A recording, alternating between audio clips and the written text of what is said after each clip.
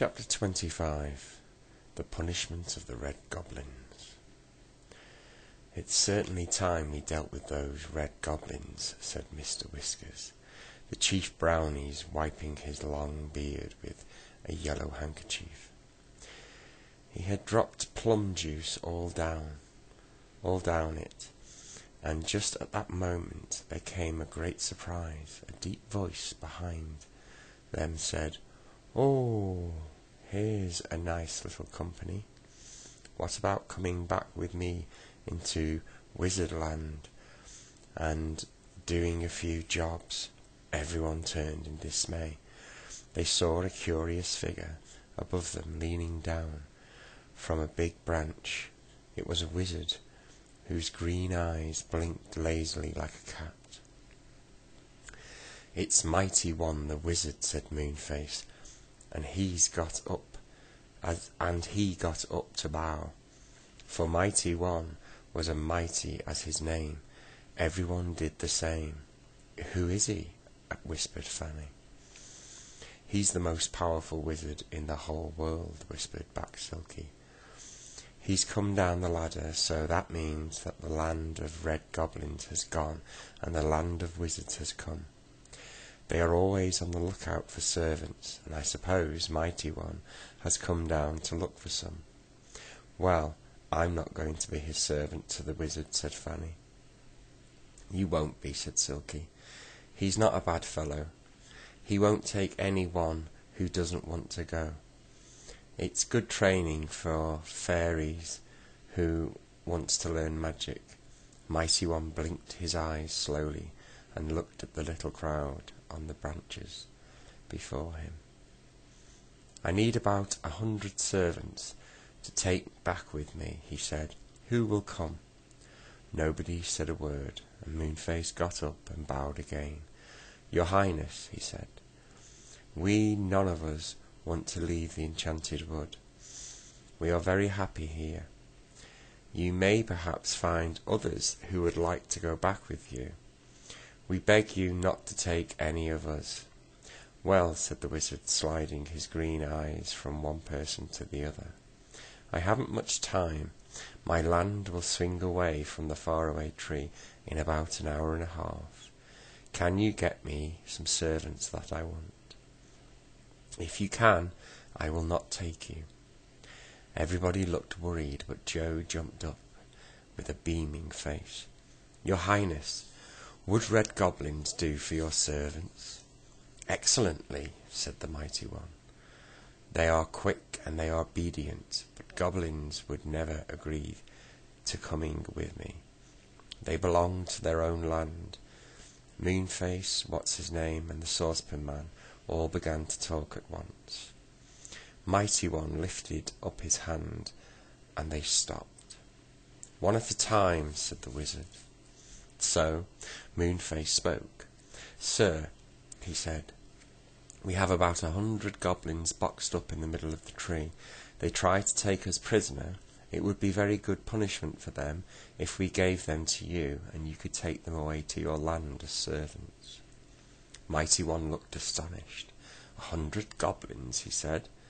That's very strange. Explain. So Moonface explained. Mighty One was most interested to hear of their fight. We'll all go down to the bottom of the tree and let the goblins out one by one, said Joe, excited. Come on, what a shock for them when they see the wizard. So they all trooped down the tree in the bright rays of the rising, rising sun. Really, it was all most exciting. They came to the trap door at the foot of the tree. Behind it they could hear a lot of shouting and squarreling and pushing. Don't push! You're squashing me! Moonface unbolted the trapdoor and opened it. Out shot a red goblin and fell on the green cushion of moss. He picked himself up, blinked in the bright sunlight, and then turned to run, but Mighty One tapped him with his wand, and he stood still. He couldn't move. He looked scared when he saw the wizard. One by one the red goblins tumbled out of the trapdoor, and were trapped by the wizard. Ten, twenty, thirty, forty, fifty, sixty. They came shooting out of the trapdoor, surprised and frightened, sliding gradually down the slippery slip as one after another slid from the trapdoor. Fanny giggled. It was a funny sight to see. It was a very good punishment for those bad goblins, she said to Silky. They came down the ladder to trap you, and now someone else has trapped them and is taking them back to his land. The red goblin stood in a sulky row, quite unable to run away. Quick march, said the wizard. Then, when the last one had slipped out of the trapdoor and up the tree went the sulky goblins. It was no use trying to escape. The wizard had put a spell on their legs, and they had to go up the top of the tree, through the big white cloud, and into Wizardland. Jolly good riddance to bad rubbish, said Joe. My word, what an exciting night we've had. I did enjoy it. Isn't it cold? said the saucepan man, shivering. Cold, cried Bessie and Fanny, who were feeling hot in the morning sun. Why, it's as warm as it can be. It's because he hasn't got his kettles and saucepans hung around him as usual, said what's his name. I expect they feel like a coat to him. Poor old saucepan man. I don't like the look of him without his saucepans, said Fanny. He doesn't look right. Can't we collect them for him? They're on the ground and all about the tree. So they began to collect the saucepan man's belongings. He was very pleased. They hung the kettles on him and put his saucepans all around him, with his special one for his hat. Some of them were dented and bent, but he didn't mind a bit. There, said Fanny, pleased. You look like yourself now. You looked horrible without all your saucepans on, like a snail without a shell. I never had a shell, said Saucepan Man. Shell? I said, said Fanny. Smell? said the Saucepan Man, looking around. I can't smell anything at the moment. What sort of smell, nice or nasty? Shell, not smell, said Fanny, particularly. Oh, shell. What shell? said the Saucepan Man. But Fanny had forgotten what she had said, and she shook her head in laughter. Never mind, she shouted. We really must go, said Joe. Mother will be up and wondering whatever happened to us. Oh dear, I do feel sleepy. Come on, girls. They said good-bye to all the tree dwellers and set off through the enchanted wood. Silky went back to her house in the tree, wondering what had happened to her clock which hadn't joined in the fight at all. It had been fast asleep. Moonface went back to the tree, yawning.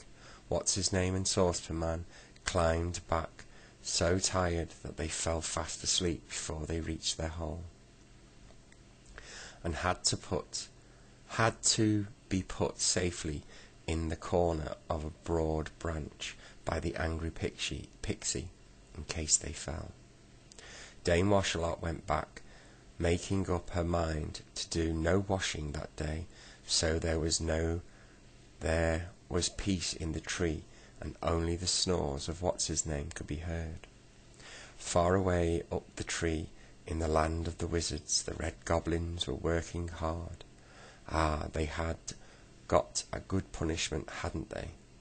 They wouldn't be in such a hurry to catch other people in the future. The three children got home, and their mother stared at them in surprise.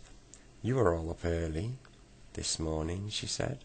I thought you were all still in bed and asleep. Fancy getting getting up. Fancy getting up and going out for a walk before breakfast like that. How sleepy the children were that day. And dear me, didn't they go to bed early that night? No more wandering through the enchanted wood and up the faraway tree for me tonight, said Joe. As he got into bed, I vote we don't go there for a long time. It's getting just a bit too exciting. But it wasn't long before they went again, as you will see.